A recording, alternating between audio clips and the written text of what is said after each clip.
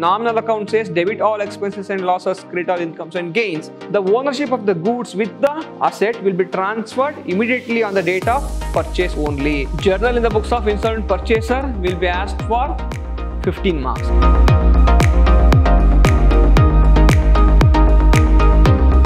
Hello my dear students, I am your AJ sir, faculty, Department of Commerce and Management, Vidhyaashram, First Grade College, Mysuru, a temple of excellence. My dear students, in today's session, I am going to handle the subject Financial Accounting 2 for second sem BCom. The chapter is the accounting for installment system session 1. Let's go to the first slide.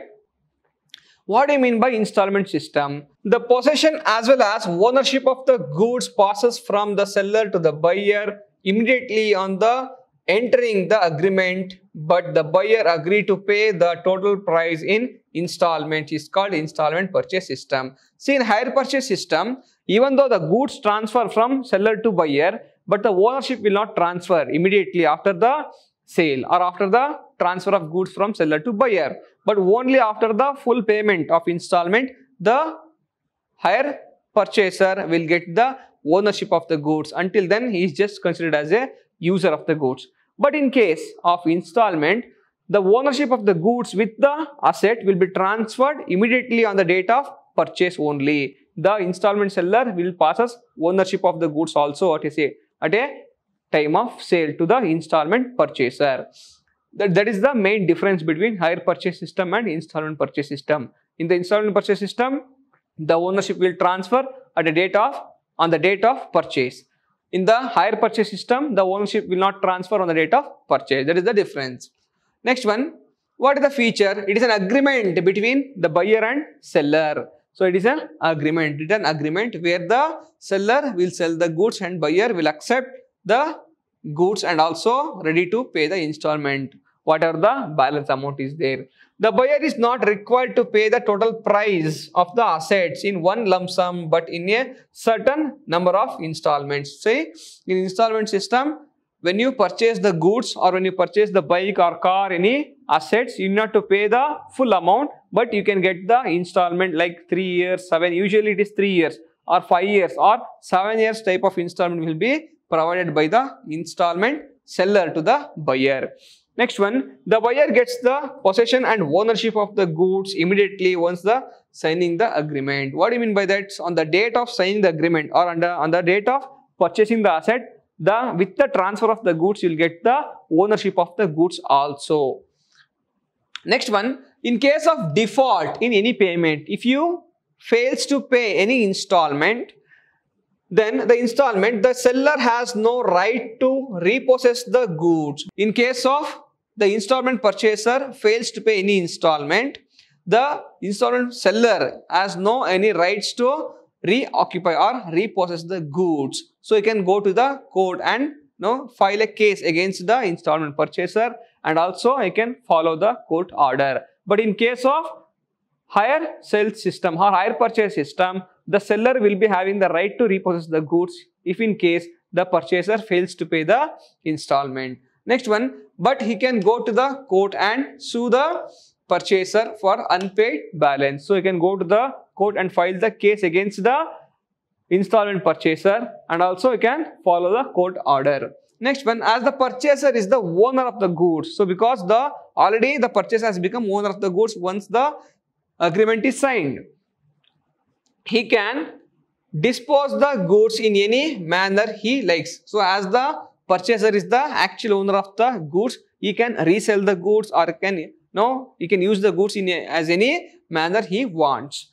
Next one, what is the difference between installment system and hire purchase system? Let us see. So, this type of question you can expect for 10 marks in the exam. See if they ask for 5 marks, what are the features of hire purchase system?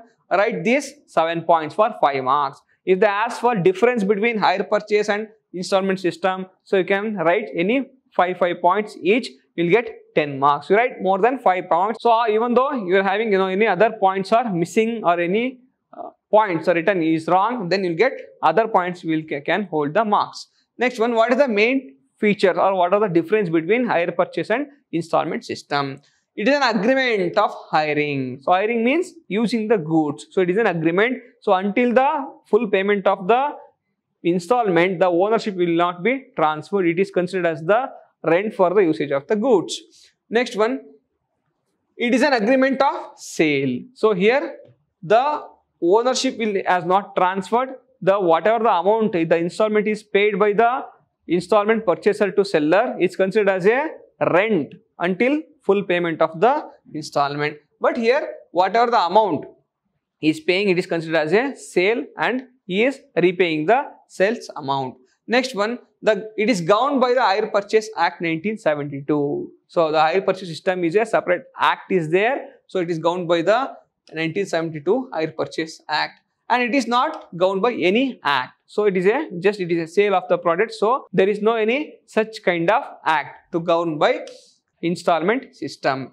Next one, the parties of the contract or agreement are called hire vendor and hire purchaser. So there are two parties in hire purchaser and hire seller. So first one is the hire purchaser and second one is the hire seller. So here there are two parties called buyer and seller. So installment purchaser and installment seller. Next one, the ownership of the goods is transferred only making all the payments fully. So the until the payment of all the installment, the ownership will not be transferred. But in the in case of eh, installment, the ownership of the goods will transfer once the agreement or once the both the parties come into the come into an agreement.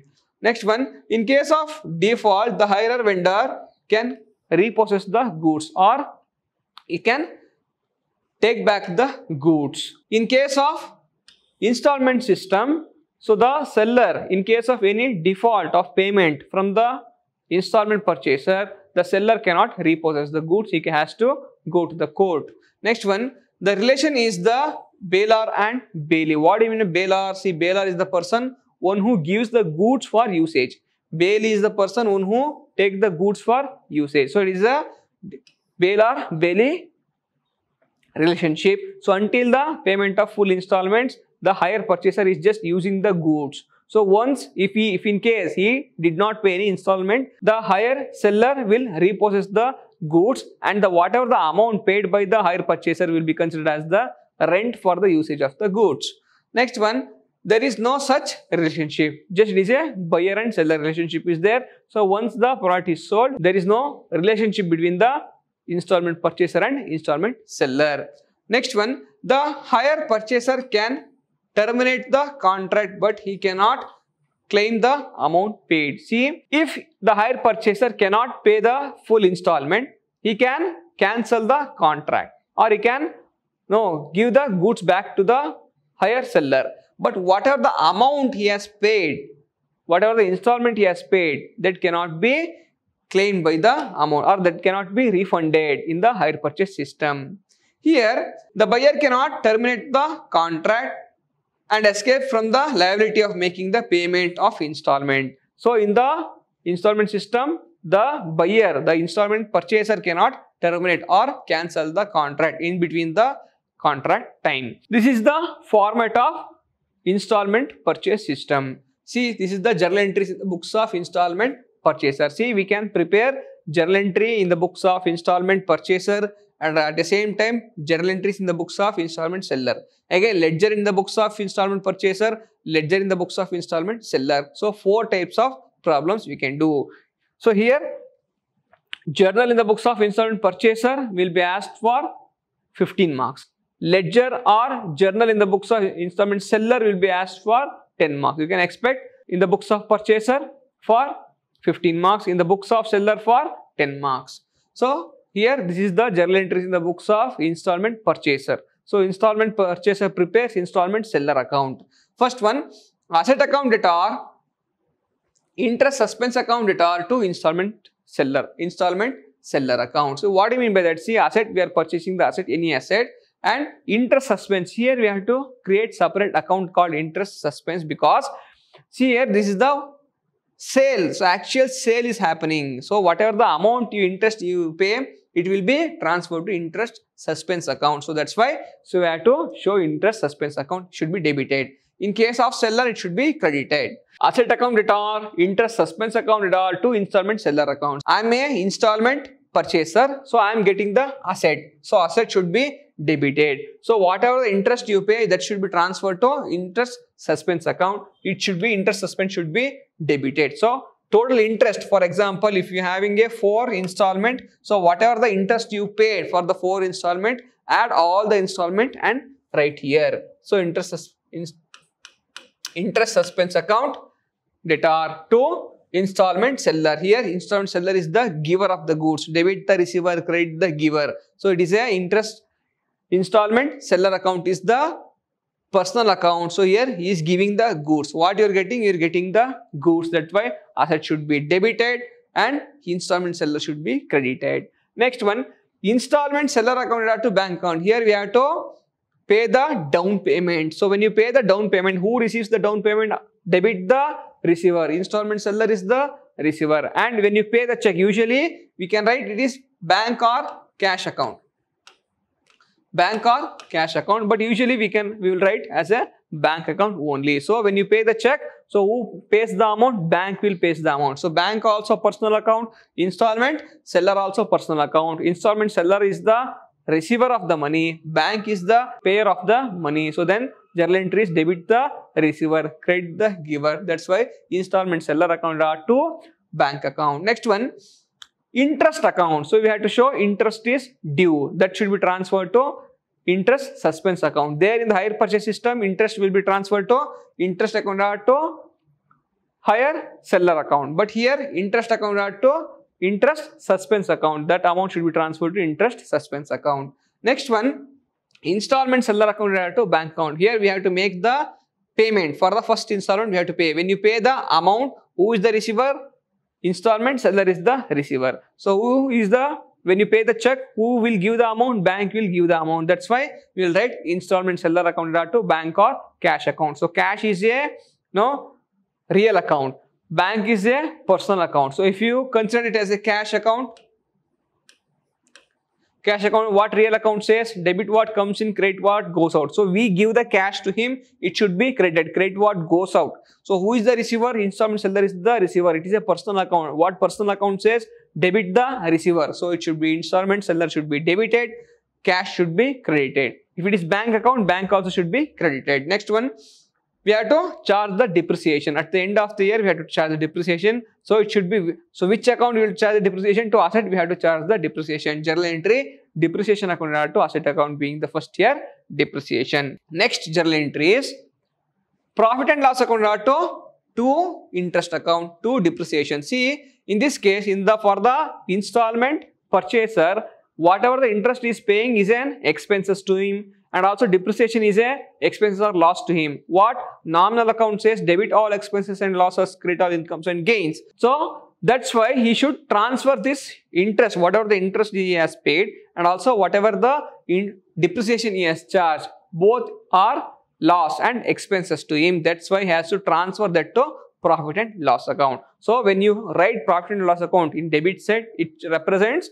loss. When you show the profit and loss account in credit side, it represents the profit. Here the interest and depreciation is a loss for the installment purchaser. So he has to transfer to profit and loss account. Profit and loss account are to interest account to depreciation amount transfer to profit and loss account. Next one for the first year we have to show purchase entry. Okay, next one down payment entry. Third one we have to show interest is due and fourth one we have to show installment is paid.